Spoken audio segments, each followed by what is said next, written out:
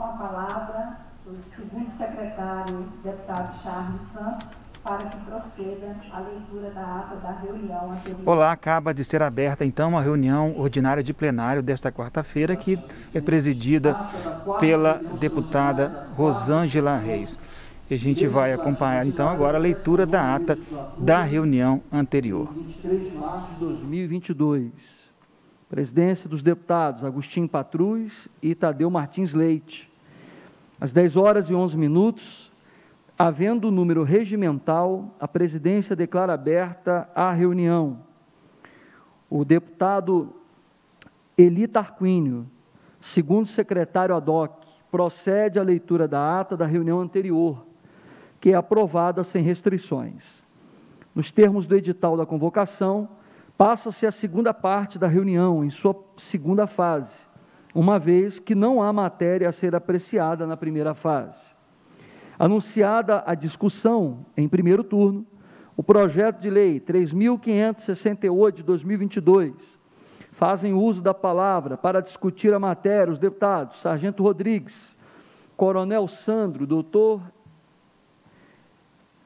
Coronel Sandro e delegado Eli Grilo, a deputada Beatriz Cerqueira e os deputados Cleitinho Azevedo, Betão, Virgílio Guimarães e Carlos Pimenta, após o que tem o projeto, a sua discussão encerrada.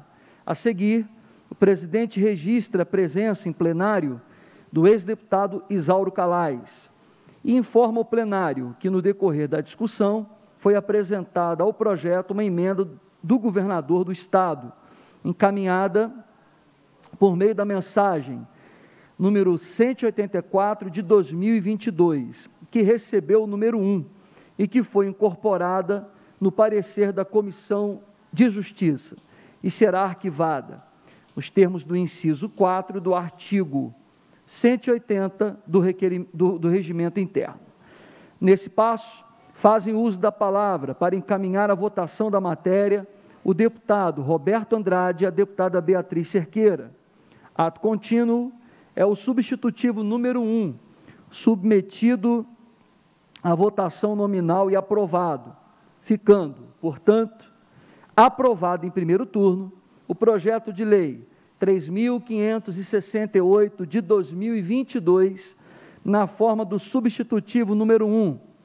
Na sequência, é submetido à discussão e votação nominal e aprovado em primeiro turno o projeto de lei 3.382 de 2021, na forma do substitutivo número 1. Anunciada a discussão em primeiro turno do projeto de lei 3.391 de 2021, fazem uso da palavra para discutir a matéria o deputado Sargento Rodrigues e a deputada Andréa de Jesus, após o que tem o projeto, sua discussão encerrada. Isto posto, fazem uso da palavra para encaminhar a votação da matéria os deputados Guilherme da Cunha, Duarte Bexi, Ulisses Gomes, Eli Tarquínio, Noraldino Júnior e Arley Santiago. A seguir, é o substitutivo número 2 submetido à votação nominal e aprovado, este prejudicando o substitutivo número 1, um, ficando, portanto, aprovado em primeiro turno o projeto de lei 3.391 de 2021, na forma do substitutivo número 2. Nesse passo, são submetidos à discussão e votação nominal e aprovados, cada um por sua vez, em primeiro turno, os projetos de lei 3.392 de 2021, na forma do substitutivo número 2, este prejudicando o substitutivo número 1, e 3.417, 2021, com a emenda número 1, anunciada a discussão, em primeiro turno, do projeto de lei 3.420, de 2021, e tendo esta sido encerrada, faz uso da palavra para encaminhar a votação da matéria o nobre deputado Guilherme da Cunha. Ato contínuo, são submetidos à votação nominal e aprovados, cada um por sua vez, o projeto, salvo emenda, e a emenda número 1, um, ficando, portanto, aprovado em primeiro turno o projeto de lei 3.420 de 2021, com a emenda número 1. Na sequência, Faz uso da palavra para declaração de voto, deputado Duarte Bechir. Cumprido o objetivo da convocação, a presidência encerra a reunião, desconvocando a extraordinária de hoje, às 18 horas, e convocando as deputadas e os deputados para a ordinária de logo mais às 14 horas, com a ordem do dia já publicada. Levanta-se a reunião. Em discussão, a ata, não havendo quem sobre ela se manifeste, doa por aprovada. Não havendo correspondência a ser lida, a presidência passa e recebe proposições e a conceder a palavra aos oradores inscritos para o grande expediente. Com a palavra, deputado Bosco.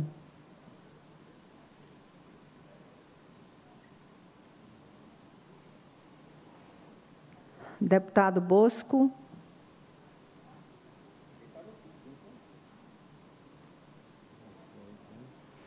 Na sua ausência, com a palavra, o deputado Sargento Rodrigues.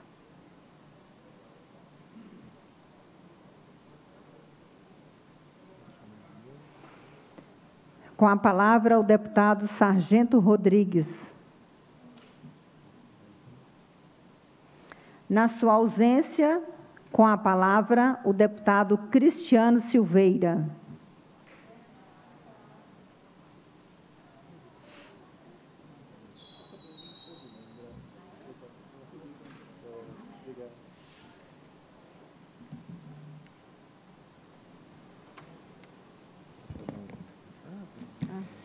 Boa tarde, colega deputada Rosângela Reis que preside essa sessão, juntamente com o nosso amigo Charles, as deputadas e deputados que participam hoje dessa nossa reunião. Pessoal, eu retorno aqui a essa tribuna para novamente tratar de assuntos importantes para o nosso Estado, assuntos urgentes. Mas hoje eu deveria falar de novo sobre a situação das estradas de Minas Gerais, como eu já disse aqui várias vezes. Parece que jogaram uma bomba em Minas Gerais. Parece que as estradas foram bombardeadas. É uma buracada, é desbarranco, são pontes, situação extremamente precárias. E o governo já tem tanto tempo que nós temos falado disso aqui, não tem feito nada. Mal, mal tapa o buraco. E alguns que eu tenho visto por aí não aguentam uma chuva fraca. Já esburaca tudo. Aquele, aquele aquele cascalho preto, que parece que faltou emulsão de piche para poder fazer a compactação. Então, a pergunta que eu faço é quando que o governo vai realmente começar a cuidar da infraestrutura em Minas Gerais? Esse é um assunto sério, viu, gente? Eu, eu quero voltar a ele depois, mas esse é um assunto sério, porque Minas Gerais tem a maior malha rodoviária do país. Aí eu abro parênteses, né? porque eu estou aqui fazendo uma cobrança ao governo Romeu Zema, mas quero também fazer uma cobrança ao governo federal, porque as nossas rodovias federais em Minas Gerais também acabaram. Completamente acabaram. E eu acho engraçado que você está passando na estrada, aí você está dirigindo seu carro. E aí a buracada. A buracada, às vezes o pneu fura, você tem que parar o carro para trocar o pneu por causa da buracada. Enquanto isso, o rádio está ligado, aí você escuta a propaganda do governo Governo, estado, governo diferente, Estado eficiente, não é isso? Como é que é? Governo eficiente, Estado diferente. Aí você está lá morrendo de raiva porque o pneu furou, porque a estrada está toda esburacada, ainda tem que haver uma publicidade que o governo paga com o nosso dinheiro, o dinheiro dos impostos, para tentar enganar nós mesmos. Então, enfim, esse negócio da estrada tá, já está tirando todo mundo sério, né? Nem tapa-buraco não está sendo feito. Eu já falei aqui na tribuna, e alguém pode achar que eu gostaria de falar sobre a, a questão da a questão da, da do, do, aumento da Copasa. Vocês sabem que teve aumento na tarifa do esgoto, né? Vocês sabem. O governo autorizou aí, a, através da Arsai, cobrar 100% da taxa de esgoto em município que não tem o esgoto tratado. A tarifa era cobrada em, em torno de 50% para os municípios que só tinha coleta e os municípios com a coleta 90%. O governo fez uma inversão. Então, município que não tem o esgoto tratado, só tem mal e porcamente a coleta, estão tendo que pagar tarifa cheia do esgoto. Sabe quais são esses municípios, pessoal? Os mais pobres, as regiões que a Copasa não fez investimento porque não é tão superavitário, as pequenas cidades, os menores IDH, as que estão nas áreas mais remotas do estado de Minas Gerais, longe dos grandes centros. Podia falar também da questão, e agora um problema novo, agora começou a chegar para nós, secretários municipais de saúde, prefeitos, lideranças dos municípios começaram a reclamar atraso na entrega do medicamento por parte do Estado. O município faz adesão à ata de compra de medicamento do Estado e medicamento não está chegando. Está faltando dipirona, a, a, a novalgina, está faltando novalgina nas farmácias das prefeituras, está faltando medicamento básico, porque é o governo que vende propaganda, que paga publicidade para dizer que é eficiente, não está dando conta de ter uma logística que funcione para poder entregar medicamento simples, medicamento de uso de, de rotina, rotineiro para os pequenos municípios. Podia falar do conflito de interesses que ocorre dentro do governo, pessoas que ocupam cargos estratégicos dentro do governo e têm contratos e negócios com empresas que vão acabar prestando serviço para o próprio governo. Mais adiante nós vamos falar sobre isso. Mas eu quero falar sobre a situação de servidores, porque a pauta da ordem do dia foi o que nós debatemos na manhã de hoje. O governo encaminhou para cá a proposta do reajuste servidor. Está falando que o que ele consegue dar é 10,0,6% para todo mundo linear, não é isso? Tem dito que errou em ter feito o acordo com a segurança lá atrás, que inclusive nós votamos aqui na casa, concedeu uma parcela, ficou faltando duas. A segurança está indignada. O governo não cumpre acordos. O governo não tem palavra. Ah, mas e o governo? Mas toda vez que a gente vem aqui falar, você, mas e o PT? Deixa eu contar uma coisa para vocês. O governo Anastasia, antes de terminar seu mandato, fez um acordo com a segurança. Três parcelas de reajuste. Vamos relembrar essa história aqui. O governo, é, através da lei 19.576 de 2011, previu um aumento escalonado das forças de segurança e, desse, desse escalonamento, duas parcelas do aumento ficou para o governo do PT. Uma no início do governo, em janeiro de 2015, 12%, e outra 15% em abril de 2015. Acordo que não foi feito pelo nosso governo, foi cumprido pelo nosso governo, com a segurança. Aí o governo não quer cumprir a lei do piso. E lembrando que para a educação nós avançamos muito, viu, gente? os aumentos que nós concedemos em média foi em torno de 50%. Até vinha o agravamento da crise, quando entramos em estado de calamidade, e com tudo que aconteceu, a, a, o déficit financeiro que nós vivíamos. Agora, o governo Zema, com muito dinheiro em caixa, muito dinheiro, é isso que eu, eu fico pensando, não consegue fazer o remédio chegar na hora, não consegue tampar buraco de estrada, não cumpre acordo que fez com o funcionalismo, com os cofres abarrotados de recursos, pelo menos da arrecadação, por outras transferências que tem recebido. E nós, com toda dificuldade, avançamos na educação, cumprimos o acordo, é, retomamos o plano de cargos e salários, criamos o adveb que o Zema quer tirar, quer tomar o adveb, que dá 11%, para dizer que para dar os 10% tem que tomar o adveb, que é uma conquista dos trabalhadores da, da educação, e está dizendo que consegue fazer linear, não respeitando o dinheiro carimbado que a educação tem através dos recursos do Fundeb, não respeitando o que está na emenda constitucional que nós aprovamos aqui na legislatura passada, garantindo o cumprimento do piso. Então é legítima essa mobilização, é legítima essa greve dos trabalhadores da educação, do funcionalismo público de Minas Gerais. Por um governo que não cumpre acordos, mesmo havendo a condição financeira, não avança. E é por isso que a gente precisa aqui fazer essa, essa cobrança. Olha, eu quero lembrar também que ainda lá no, no nosso governo, 2015, foi aprovado um reajuste de 47,5% para os servidores administrativos das categorias de defesa social. Então, eu falei aqui do, do compromisso do pagamento das duas parcelas que ficou da Anastasia para o governo do PT pagar, e estou dizendo que também que para a defesa social, para a área de segurança, nós avançamos. Muitos que não votaram conosco devem estar dizendo, né? Saudade do governo do PT, a gente achava que estava ruim. Imagine, né? Imagine. Então, meus amigos, eu quero trazer aqui essas questões para a gente conversar. Porque o governo Zema, que fala muito de uma austeridade, ao mesmo tempo que, ainda que tenha dinheiro em caixa, não consegue avançar em acordo com o servidor, por outro lado, é muito generoso com seus amigos que compõem o governo, seus indicados. Nós denunciamos aqui em novembro, servidor da Secretaria de Estado de Fazenda recebeu mais de 200 mil reais somente no mês de novembro. Para os amigos, tem dinheiro e muito. Para os correligionários, tem dinheiro e muito. A diretoria da CEMIG, então, nem se fala. Eu acho engraçado quando o governador fala que a CEMIG é um grande cabide de emprego, tem que privatizar, mas é ele que permite que sejam pagos salários milionários dentro da, da, da empresa. Olha o presidente da própria estatal da CEMIG. Quem é o chefe maior? O governador. Então, esse momento que nós estamos vivendo começa a vir a, a, a jogar a luz na, nas verdades, que até então ficavam ocultas, né? as pessoas não tinham acesso a essa informação. Esse processo está trazendo um pouco essa, essa questão para a gente poder conversar, para a gente poder discutir. Então, eu queria aqui dizer o seguinte, que nós queremos avançar nesse debate. Eu já disse várias vezes, e vou repetir, o governo do Estado de Minas Gerais, o serviço público não é uma loja de eletrodoméstico. A nossa meta, o nosso produto, o nosso lucro não é através da venda de geladeira, não é através de empréstimo consignado. O nosso produto é um indicador social, é um bom indicador na saúde, é um bom indicador na educação, um bom indicador na segurança e todas as áreas. E como que a gente atinge isso? A gente atinge com, atinge com serviço público de qualidade. E quem executa o serviço público? O servidor. A grande ferramenta que o Estado tem para cumprir a sua missão, a sua função, a legislação, é o servidor. Um servidor capacitado, um servidor estimulado, um servidor acolhido, um servidor valorizado é fundamental para que o governo cumpra o seu plano, cumpra a sua meta, cumpra a legislação, entregue para a sociedade serviço de qualidade. Mas o governo parece não entender isso. Durante esse mandato, a agenda que nós, inclusive, tivemos que enfrentar aqui nessa casa foi de ataque aos servidores.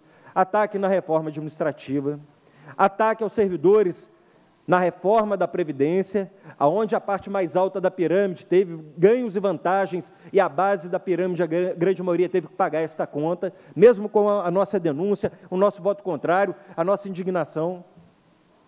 O governo que persegue sindicalistas, tem pouco tempo, o governo começou a perseguir os sindicalistas para que retomassem as suas funções, tentando caçar suas liberações para atuar na luta em defesa de quem eles representam, das suas categorias. E agora, mais uma: o governo tem ameaçado, o servidor que fizer greve vai ser demitido. Tenho recebido denúncias de servidores da educação que, por serem, por exemplo, designados, não poderiam aderir à greve, que o governo diz que, se aderir à greve, serão demitidos. Olha que coisa, parece que nós estamos no século retrasado perseguição, isso para mim, isso para mim configura assédio moral. Dizer que o servidor não pode lutar por aquilo que está garantido em lei, lutar por, por melhores condições, porque o governo ameaça com a perda do emprego. Esse é o resumo da agenda governo Zema, a relação governo Zema com o servidor público do Estado de Minas Gerais. Que os servidores do Estado reflitam quem está do seu lado, quem luta ao seu lado, quem tem feito debate aqui nesta casa. Nesse sentido, eu quero aqui cumprimentar o presidente da Comissão de Constituição e Justiça, deputado Sábio Souza Cruz. Ontem, na reunião da Comissão de Constituição e Justiça, o deputado Sábio incorporou ao seu relatório um, uma emenda de nossa autoria. O governador encaminhou para a Assembleia falando, olha, tem que ser reajuste, não pode ser aumento, porque a lei me proíbe dar aumento. O reajuste tem previsão na Constituição, portanto, estou concedendo aumento para todos. Mas quando ele diz que a retroatividade a janeiro ela incidiria somente em algumas categorias e não em todos os servidores, ele foge, inclusive, do precedente constitucional, porque alguns servidores teriam, então, em média, mais de 10%, e outros, quando considerasse a média, seria pouco mais de 6%. Apresentamos um requerimento para corrigir, inclusive, essa inconstitucionalidade, e foi acolhido pelo deputado Sábio Souza Cruz. E a nossa emenda, incorporada ao parecer, foi votada hoje pelos colegas de forma unânime. Então, eu quero fazer esse agradecimento e dizer da importância da nossa vigilância na tramitação dos projetos aqui. E, para concluir, quero dizer aos servidores da educação, já falei sobre os demais servidores, quero falar sobre educação. Me soma a luta dos parlamentares de nossa bancada, iniciativa da deputada Beatriz Cerqueira, do qual nos convida para assinar junto emendas que serão apresentadas para tramitação em segundo turno ao projeto. Pagamento do piso salarial da educação básica para todos os trabalhadores e trabalhadoras da educação, com todos os reajustes pendentes de pagamento. Incorporação da gratificação nos vencimentos dos professores da UENG e Unimontes, que hoje estão em greve devido ao descumprimento do acordo já firmado com o governo estadual de incorporação e realização dos, dos novos concursos.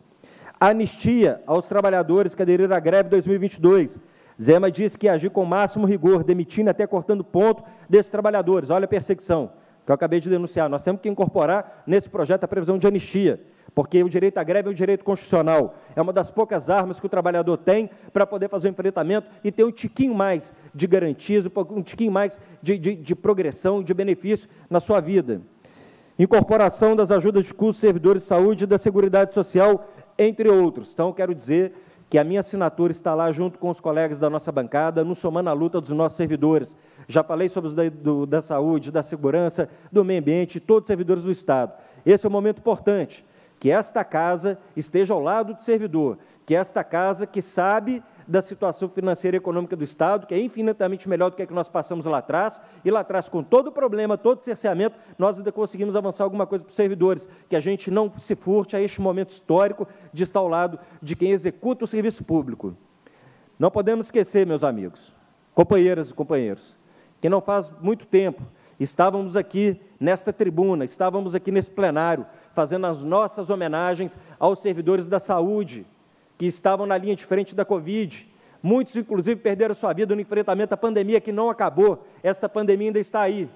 A homenagem que o governo fez e nós não conseguimos impedir aqui foi a reforma da Previdência no meio da pandemia, que os trabalhadores não conseguiram se organizar e que a gente possa então fazer uma compensação, que a gente possa então fazer discussão do que é de direito, que é justo para os servidores, tendo como referência aqueles que entregam a sua vida, como eu já disse, a segurança, a saúde, os profissionais da educação, aqueles que estão no meio ambiente, aqueles que estão em todas as áreas do Estado. Precisamos ter unidade, consciência e valorização de quem move a máquina no Estado. Nós passamos, o servidor permanece. Obrigado, presidente.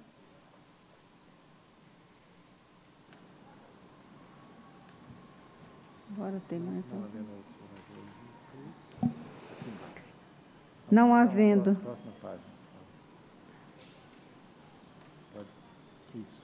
Não havendo oradores inscritos, a presidência passa a segunda parte da reunião com a primeira fase da ordem do dia, compreendendo os atos da presidência, as comunicações e a apreciação de pareceres, requerimentos e indicações. Estão abertas as inscrições para o grande expediente da próxima reunião.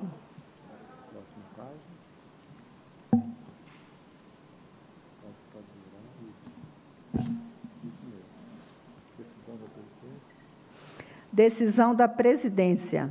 A presidência informa que, com a retirada de tramitação do projeto de lei 2273 de 2020 do governador do estado, o projeto de lei 2565 de 2015 do deputado Inácio Franco volta a tramitar do ponto em que se encontrava no momento da anexação nos termos da decisão normativa da presidência número 23. Assim sendo, a presidência, nos termos do artigo 188, combinado com o artigo 102 do Regimento Interno, encaminha o projeto de lei 2565 de 2015 às comissões de Justiça e de Fiscalização Financeira para parecer. Ficam mantidos os demais atos processuais praticados até o momento. Comunicação da presidência. A presidência comunica que foram aprovados conclusivamente, nos termos do parágrafo único do artigo 103 do Regimento Interno, os requerimentos de números 10.749 e 10.750 de 2022 da Comissão de Esportes. Publique-se para os fins do artigo 104 do Regimento Interno. Comunicações. A Comissão de Segurança Pública comunica a apreciação conclusiva da matéria na reunião extraordinária de 23 de 3 de 2022. Ciente, publique-se. A presidência encerra a reunião e convoca as deputadas e os deputados para a reunião ordinária de amanhã, dia 24, às 14 horas, com a ordem do dia a ser publicada. Foi desconvocada a reunião extraordinária prevista para hoje, às 18 horas. Levanta-se a